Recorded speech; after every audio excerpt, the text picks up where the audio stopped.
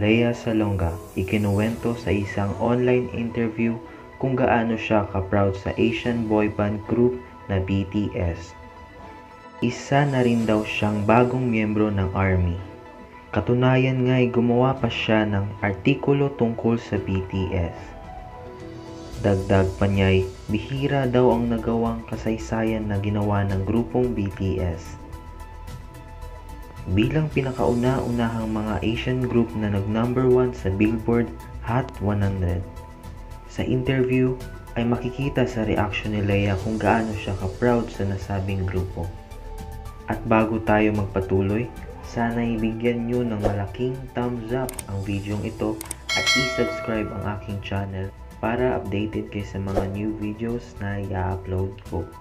Narito, panoorin ang mga tweets at video clips na nag-iisang Broadway diva na tila ba'y nagiging isang fangirl ng grupong BTS. And I've just been listening to BTS nonstop. It just keeps it keeps me happy. It's it's like some of some of my other girlfriends kind of got me into it via Facebook. They're posting videos. They're you know You just got talking about recently, you were saying. Yeah, I, I'm I'm a brand new fan. Well, not brand new. I mean, I saw them on New Year's Rockin' Eve, and I was really really impressed. Um, but I think it was when Dynamite came out. That was when I was like, okay, and into the rabbit hole I go, and that's that's it. Bye. You won't see me for a while. The comments are blowing up with the fact that you're a BTS fan. They're good. They're really good. They, yeah. they truly are. They're talented.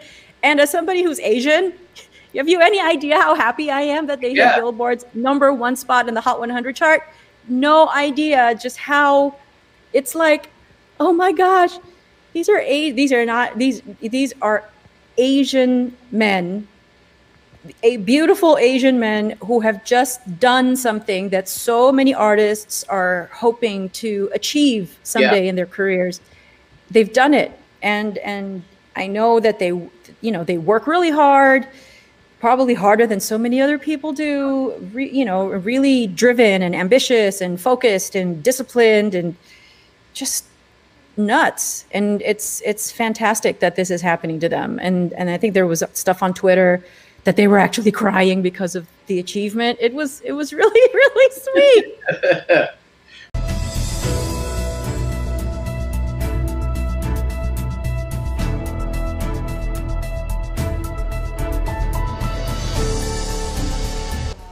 At dyan na po nagtatapos ang lahat. Sa mga di pa nakapag-subscribe ng aking YouTube channel, please do subscribe to my YouTube channel and click the notification bell para updated kayo sa mga new videos na i-upload ko. Maraming salamat.